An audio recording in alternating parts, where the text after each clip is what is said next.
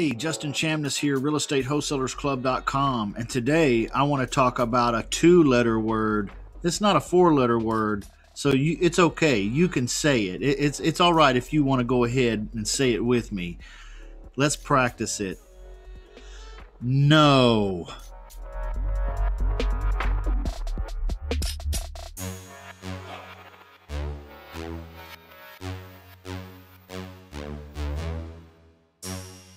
You're going to struggle to reach your full potential if you don't learn how to say no. There's going to be constant demands for your time.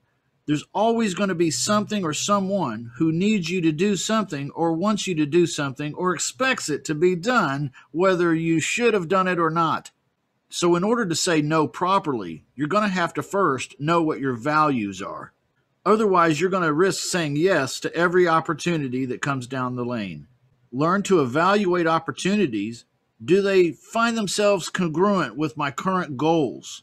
Remember, your values and goals should dictate most of your decisions. This may mean you're going to have to stop going out on the weekends if you want to start a successful side business.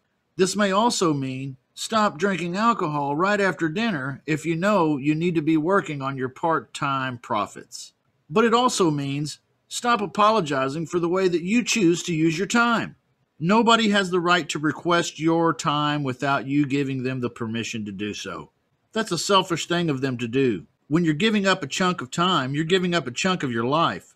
So instead of making yes the default answer, make no the default answer. Accept requests only when you have a good reason for doing so. This is also self respect.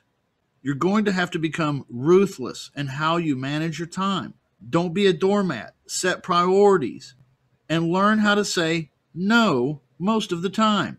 I'm not suggesting that you not spend time helping other people. I'm suggesting that you spend your time helping other people in the way that you've deemed most efficient and effective. This way, you'll be more likely to achieve your goals. So here's your exercise.